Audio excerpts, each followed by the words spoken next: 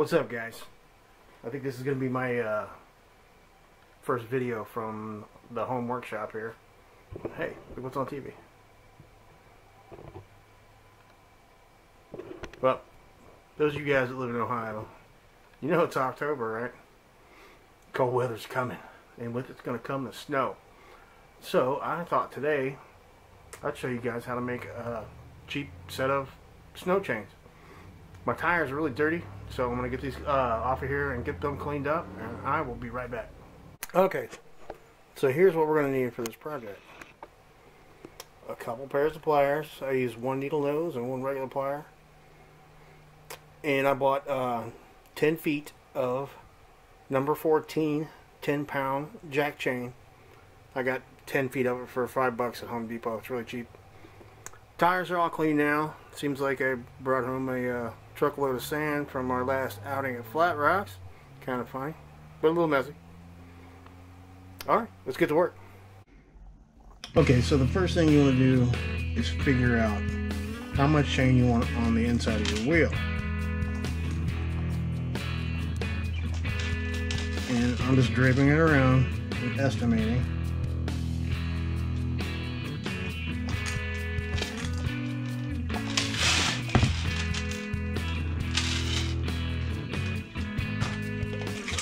To that point, I'm going to give it 11 and a half inches. And you want to do that inside out on all four tires. You're going to have eight pieces at 11 inches.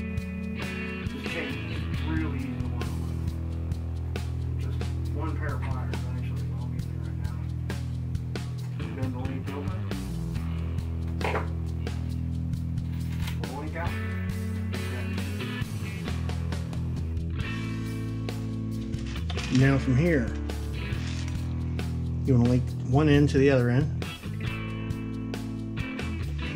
Close that link up.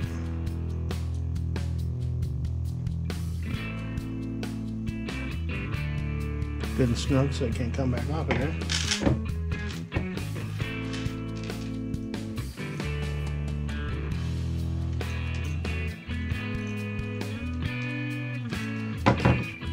Close this one off.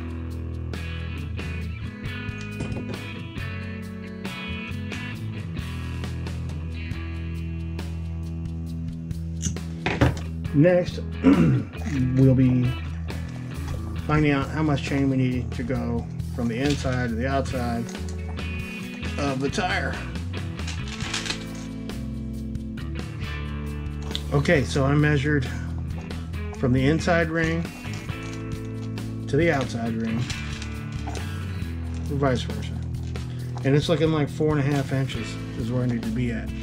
So I'm gonna go ahead and put that on now and let you see what it looks like. Mm-hmm.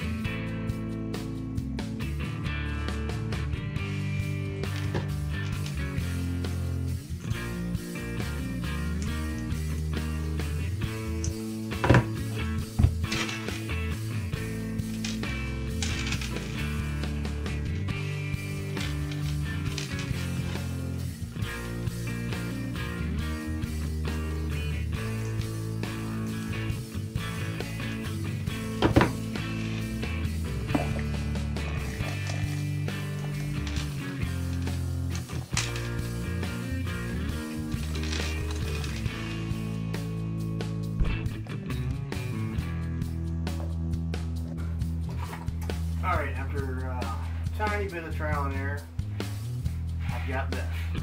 At this point, I know four and a half inches on this side is way too much. So I'm going to take some of that off of there and let you know what, what the uh, dimensions are. Be right back.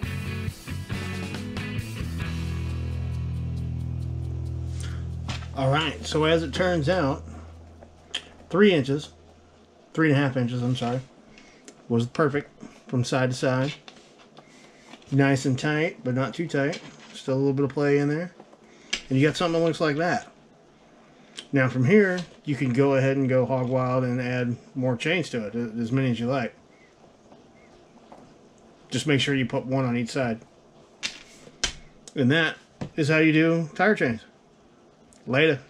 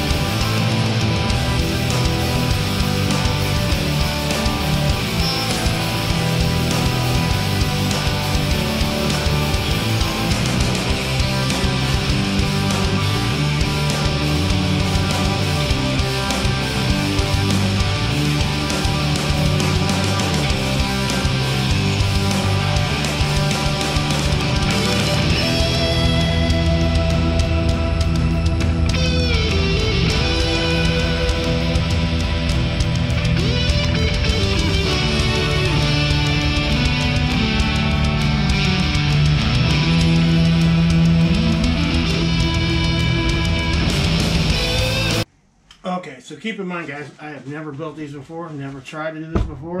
My very first attempt. Not too bad, not too shabby, I don't think. Looks like they will serve a purpose. But I started off with 10 feet of this chain. I've used half of it.